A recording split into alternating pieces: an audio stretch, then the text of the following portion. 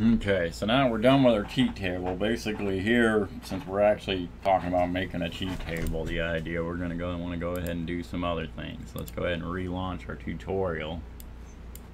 Or close out the game and relaunch it kind of deal, and then let's just run through everything and retest it all and make sure it's all working right. Oh, we need to attach to the process.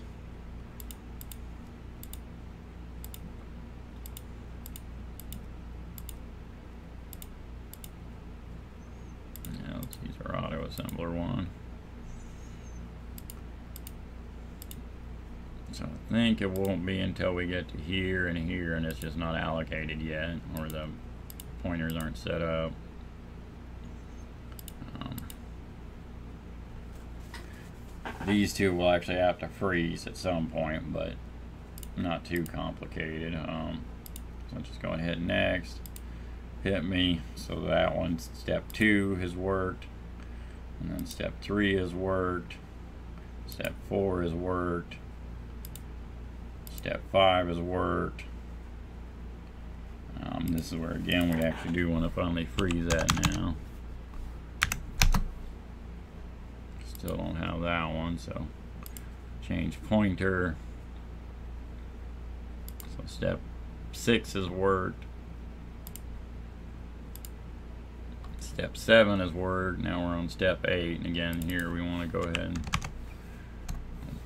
freeze that to 5,000. And on both of these, we could set up timers. I'll probably do something like that later and explain some of that. Uh, just don't want this series to be all that long. I think it's already pretty long as it is.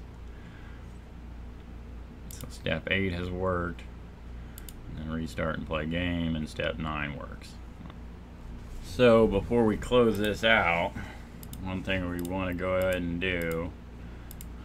Let's go ahead and, you know, act like, once again, we're going to share this cheat table with others. So there might be a couple key things we want to do. Um, again, I suggest going ahead and making sure you save. And I, like I said, I like to save with a backup. And then if we're going to share this, let's go ahead and give ourselves a version folder. Stick that in there, and we'll just call this cheat table version 1.0.0 or 1.0.1 um, whatever naming conventions you want to use it, it really doesn't matter just whatever works for you and makes enough sense for other users. Um, a lot of people actually put game versions in here. Um, I always put the cheat table version. So now let's go ahead and open our memory view tools data or um, just dissect data structure. Is that popping up somewhere weird? Okay, I had it minimized what the problem was. Okay, um, so here we'll want to maybe clean up our table a little bit because if we actually look, um, if we actually look at that cheat table file, we'll see that uh, that data structure is packed in there and it does take up a, I mean it's not a real big deal especially with just one but if you were really going through this and doing a lot of different um, data structures this could get a lot longer.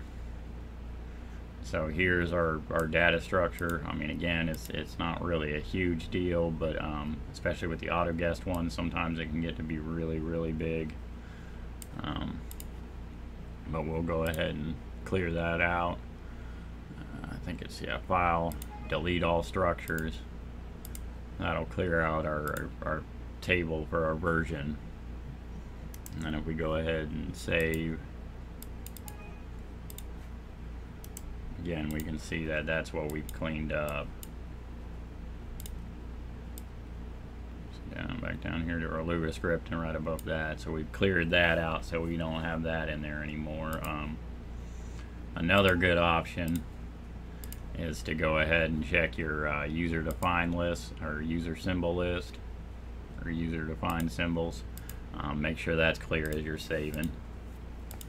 But other than that, that's pretty much it. This would be a, you know, an acceptable cheat table on some levels. Um, again, you may want to structure things differently and do some different things and maybe even color stuff. I mean, that's all up to you, whatever whatever makes sense to you is your cheat table essentially.